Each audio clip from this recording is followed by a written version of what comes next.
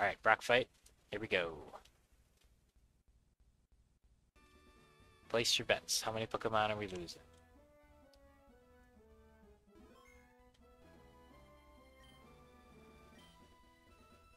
Three? Grill. We've never lost a Pokemon to Brock. He's never even been a challenge. I wasn't even gonna bet on him.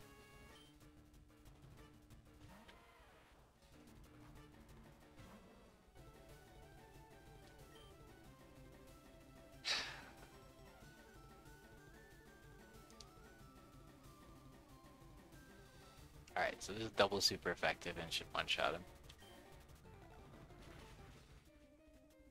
Oh, he's got sturdy. I always forget about sturdy.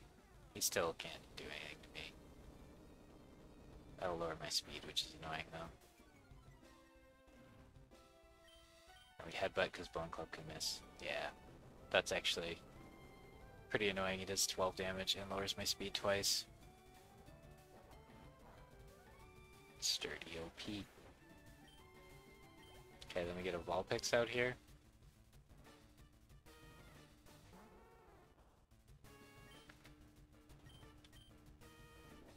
Oh, that might be super effective.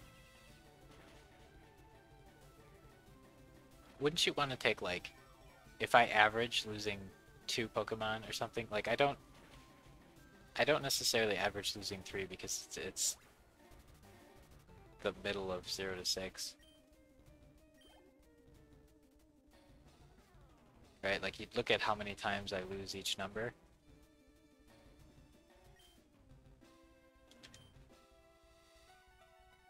I don't think Onix can one-shot me, so we'll get a Bone Club out here, but I think we'll probably end up switching. Because this will be a pretty grindy battle, and I'm already hurt half my health. Probably get him with one more attack here. Did a little more than I expected it to, but I don't know if we want to risk... Um, a crit on his next hit will kill me. A non-crit won't, but a crit will, and I don't think we want to risk that. So he's going to use a ground type move, which is super effective against you. It doesn't affect you, but he'll use Rock Tomb the next turn. We don't like that. It's super effective against you and you, so it's either him or him. Um, honestly, they might not be able to survive that that well. Interesting. Somebody has quick attack. You have quick attack, but can you survive a bulldoze? Well, let's see who... I mean, quick attack's not going to kill him anyway, but... We gotta look at who's faster and who's tankier. You're faster.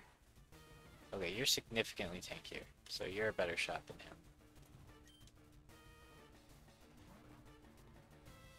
I think this team's feeling pretty weak, but it might have the ability to scale. So we gotta survive two bulldozers. Okay, we can, unless it crits. So we're in the same situation where we die to a crit. And yeah, so that actually didn't help. I think both of these battles we tried to play around crits and we shouldn't have. We're putting ourselves to more risk by playing around crits. Because now he has two chances to crit us instead of one if this magnitude doesn't kill. And it was a 6, which is a really low roll, so it probably won't kill. Yep, so now he had that chance to crit, and he has this chance to crit, instead of just one chance on Marowak which seems worse. A crit there would have killed us exactly. This 8 will get him though. Alright, so there was more risk to that battle than I expected, but, I mean... He had to crit.